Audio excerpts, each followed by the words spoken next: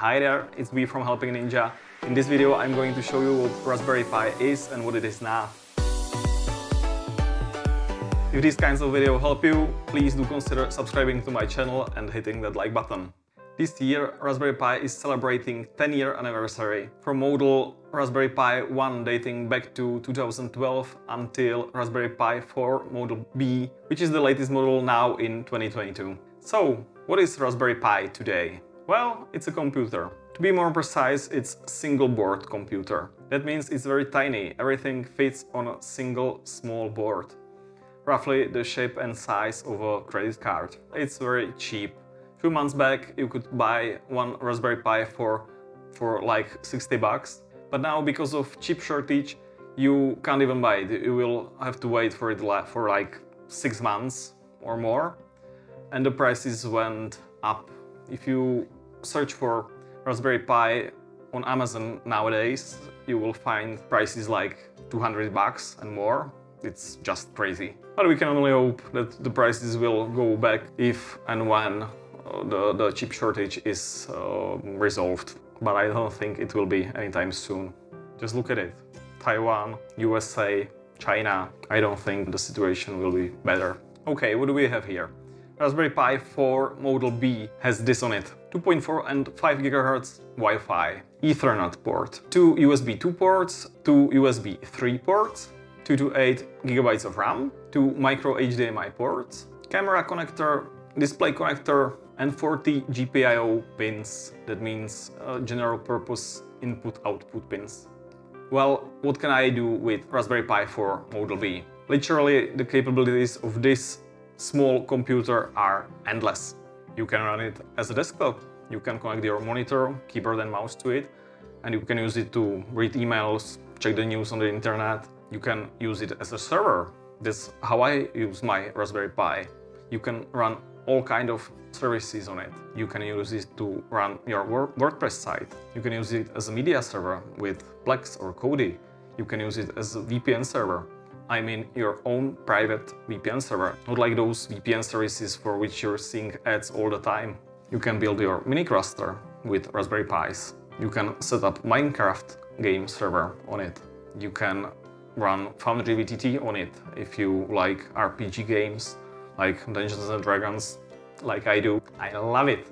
If you do like my content, please subscribe to my channel or leave a comment down below, hit that like button, whatever works for you. Thanks! You can run your own private cloud, like Nextcloud.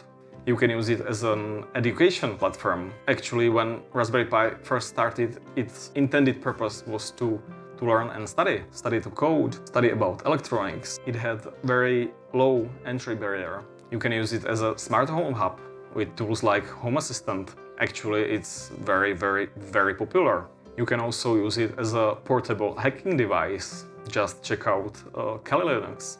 You can use it to build your own Wi-Fi bridge. If you need to connect your device which isn't capable of Wi-Fi connecting or vice versa, if you need to create a Wi-Fi hotspot. That's all you need. Raspberry Pi, go.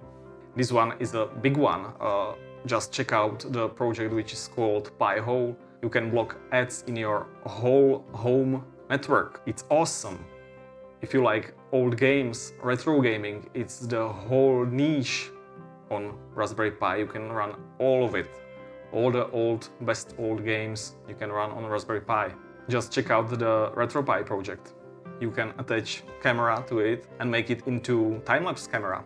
You can use it to create weather station and you can make literally thousands and thousands of homemade projects with the GPIO. It's general purpose input output. It's 40 pins on Raspberry Pi which you can use to communicate with uh, different devices. Raspberry Pi will be turned into control unit or brain of those, of those projects. These GPIO pins are programmable pins. You can power things with it, you can receive data, you can even control relays with it. I'll put an endless list of projects in the descriptions below, just check it out.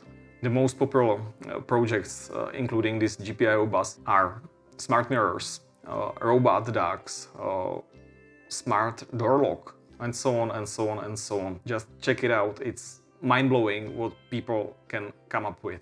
Okay, but now what Raspberry Pi is not. Well, Raspberry Pi 4 is not a replacement for fully featured PC or notebook or server, uh, simply because Raspberry Pi lacks the computing power that those expensive big machines have. But it was never its intention to compete with these kind of devices.